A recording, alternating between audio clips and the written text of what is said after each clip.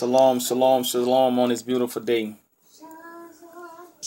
I'm uh, about to get into Revelation chapter 7 verse quickly, very quickly. Uh, bring forth this word of God. I'm going to keep it going. It's already on uh, Periscope. Uh, for some reason, uh, it's, it's not coming where I can save it, so I'm having to do this thing two times. But I, I, I got to continue to uh, feed God's sheep. Feed God's sheep. So here we go in Revelation chapter 7. And after these things I saw four angels standing on the four corners of the earth, holding the four winds of the earth, that the wind should not blow on the earth, nor on the sea, nor on any tree. They're not to do anything. God, God is giving commandment that they would do nothing. Nothing. There's a reason why God commands that these angels do nothing against anything. Verse 2 And I saw another angel ascending from the earth ascending from the east, that is, having the seal of the living God. And he cried with a loud voice to the four angels, being the four beasts, being the four beasts, being from the book of uh, Enoch, being Enoch, being Uriel, uh, Raphael, Michael, and Gabriel, being the four archangels. And I saw another angel ascending from the east, having the seal of the living God, and he cried with a loud voice to the four angels to whom it was given to hurt the earth in the sea.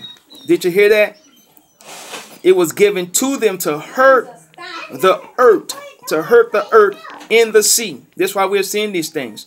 To hurt the earth in the sea. God give power to those four archangels, saying, Hurt not the earth, neither the sea, nor the trees, till, till we have sealed the servants of our God in their foreheads. So they're not to do anything until the servants of God, these that are of like immortal beings in this time, that are living in this time, there are 144,000 men only of Israel, no Gentile nations, only of Israel that are sealed, that are sealed, being like immortal beings.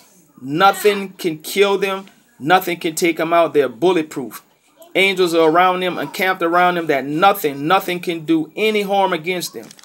This is the truth. This is the word of God. I'm going to read further. Verse 4 And I heard the number of them which were sealed, and there was sealed in 144,000 of all the tribes of the children of Israel. It states the children of Israel, not the Gentile nation, but the children of Israel of the tribe of Judah were sealed 12,000 of the tribe of Reuben were sealed 12,000 of the tribe of Gad were sealed 12,000 of the tribe of Asher were sealed 12,000 of the tribe of Nepthalim was sealed 12,000 of the tribe of Manasseh was sealed 12,000 of the tribe of Simeon was sealed 12,000 of the tribe of Levi was sealed 12,000 of the tribe of Issachar was sealed 12,000 of the tribe of Zebulon was sealed 12,000 of the tribe of Joseph was sealed 12,000 of the tribe of Benjamin was sealed 12,000. That's 144,000. Glory be to God. Dan is, Dan is the only one that is not mentioned of Jacob's sons in this prophecy. The reason why, because in the book of Judges, he made an idol. The children of Dan made an idol. In Genesis chapter uh, 49, Yaqub being Jacob, he made prophecy in Genesis 49 for the last days that Dan would be a serpent, by the way, and an adder in the pad being snakes. Being snakes. That ensign Dan still holds today that would be on the flag, the flag, the flag of Dan. We see the symbol of Dan on the anchors that all men wear, even in the Navy or the Navy of United States. Uh, the serpent is around the anchor is around the anchor that that is on the arms of the tattoos and also on the uh the documents of men being in the navy. My uncle being in the navy and i uh, i slept in a room in my grandmother's house and i would always look at the uh the document of him being in the navy. And it had that that seal. I still can remember it and see it uh vividly that uh that seal, that seal, that serpent being around the anchor. Glory be to God. Uh, but Dan will be a part of what is necessary. What is necessary. God has another purpose for Dan. Dan is going to come back. Dan is going to come back in the prophecy. I believe that's verse 18, uh, Genesis 49, verse 18. He says, "O Lord, I have waited for I have waited for thy salvation. O Lord, I have waited for thy salvation." So Dan says, "I know I've done wrong, but O Lord, I have waited upon thy salvation." So Dan, uh, it's shown that Dan's going to come back, even in Isaiah chapter 49. Isaiah chapter 49, verse 12, show those of Sinim, being China, being the Oriental regions, are going to come back to God. So we don't count Dan out. Dan, uh, Dan done wrong, but Dan will come back, but he's not in this this particular uh, uh like SEAL, like Navy SEAL uh special forces that God have that cannot be killed. They're not in that number. But Dan will come back as prophetically that Dan will come back. They're already moving. Verse 9, and after these, and after this I beheld, and lo, a great multitude which no man could number of all nations and kindreds and people and tongues stood before the throne and before the Lamb, clothed with white robes and palms in their hands, and cried with a loud voice, saying, Salvation to our God, which sitteth upon the throne, and unto the Lamb. That's two different uh beings. God, who is Yahweh, who is Jehovah, who is uh, G uh, Jehovah, who is Yahweh, and also you have the Lamb, which is God's Son, uh, being the sacrifice that take away the sin of the world, being Jesus, being Yahweh being Yehoshua, being Issa, being Jesus, clothed with white robes and palms in their hands. These people were before the throne of God. And cried with a loud voice, saying, Salvation to our God, which sitteth upon the throne, and unto the Lamb. And all the angels stood round about the throne, in about the elders, in the four beasts, and fell before the throne on their faces and worshiped God, saying, Amen. Blessings in glory, in wisdom, in thanksgiving, in honor, in power, and might be unto our God forever and ever. Amen.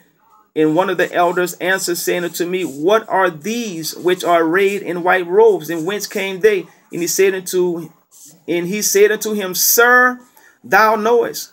Apostle John saying, Sir, thou knowest. And he said unto me, These are they which came out of great tribulations, and have washed their robes, and made them white in the blood of the Lamb. Made them white in the blood of the Lamb. That did not say Tammuz of Babylon it did not say Horus. It did not say Horus of, of Egypt.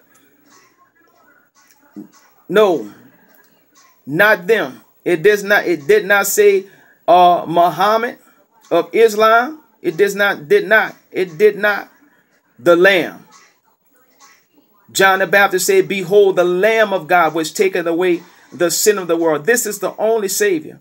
This is the only one that you can go through. This is the only one being in his name that you can get baptized in, in water and God, God will respect it. God will respect it. God will respect it and God will honor it and God will allow you to be into his kingdom when you're baptized sincerely in the name of his son. He is the only sacrifice according to uh, Isaiah chapter 53 verse 10. Yet it pleased the Lord to bruise him. It yet it pleased the Lord to bruise him when he shall make his soul an offering for sin. What is a soul? Mind, will, and emotions. Mind, will, and emotions that dwells inside of the flesh. Mind, will, and emotions that dwells inside of the flesh. It pleased God that he actually sacrificed his own son. He tested Abraham. Abraham, he tested Abraham to see if Abraham would sacrifice Isaac Abraham almost sacrificed his son until God told the angel to stop him. He has a ram in the bush for this. That ram in the bush that was laid down upon the sticks that were laid down upon the stone, the, the, the stones of, of, of, of, the uh the altar, that being God's son. That being God's son. It was already prophesied through the actions of Abraham that God himself would sacrifice his own son. That wasn't uh, a friend of Abraham. That wasn't a cousin of Abraham. That wasn't a nephew of Abraham. That was Abraham's son that God tried his heart. God tried Abraham's heart with his own son. God, God by the action of Abraham, by the action of Abraham, he allowed salvation to come forth that we would be redeemed by his son blood. By his son blood. Glory be to God. Then it shows that Therefore are they before the throne of God and serve him day and night in his temple, and he shall sit on the throne. And he that sitteth on the throne shall dwell among them. God is coming back. They shall hunger no more, neither thirst any more, neither shall the sun light on them, nor any heat. That means that the clouds, as the children of Israel were covered by the clouds in the wilderness, God is going to cover his people. God is going to cover his people. For the Lamb which is in the midst of the throne shall feed them and shall lead them into living fountains of water, and God shall wipe away all tears from their eyes. God is going to wipe away all your tears. All you got to do is hold on. All you got to do is hold on. There are those that are Gentile nations that are going to come through great tribulations. I say to the Gentile nations, hold on. Hold on. You that call upon the name of God's Son that are, are baptized and that are living the law, statutes, and commandments, I see you in the word of God. God is going to call you to Israel. God is going to call you to Israel. I don't want to jump ahead of myself, but we're going to get into that. I'm going to prove that God is going to call you to Israel. God is going to call you to Israel, Gentile nations. You that are not, you that are not of the 12 tribes. You are Goi, being the Gentile nations. We say Goi in the Hebrew language. Goi represents is Gentile nations, which are considered to be nations that are not Israel, that are not of the descendants Israel. 144,000 God has selected, has selected that are greater than any army that's on this earth. I want you to give this thought. I want you to give it thought. God gave instruction that the four angels would not hurt anything until these 144 are sealed. A special sealing. No one can kill them. No one can kill them. They are like immortal beings walking this earth right now. A special army, a special force for these end times. God has walking the earth and he will bring them together. It's God perfect will. It's God perfect will. So I give you time to think, to repent, to repent, bow down, bow down and be a part of the number of the Gentiles that are going to come before God's throne. They're going to come before God's throne.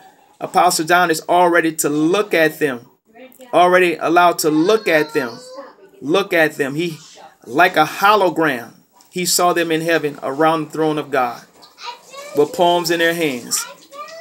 Hallelujah. Palm Sunday, the Sunday, the time right before the uh, the, the, the, the Passover lamb is slain. They're in that atmosphere with palms in their hands. Glory be to God. Glory be to God. On Abiv, being a 10 day it's Palm, it's Palm Sunday. It's Palm Sunday.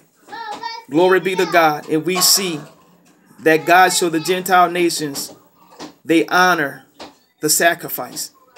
They honor Passover. They're involved with the law, statutes, and commandments. I say shalom to you all.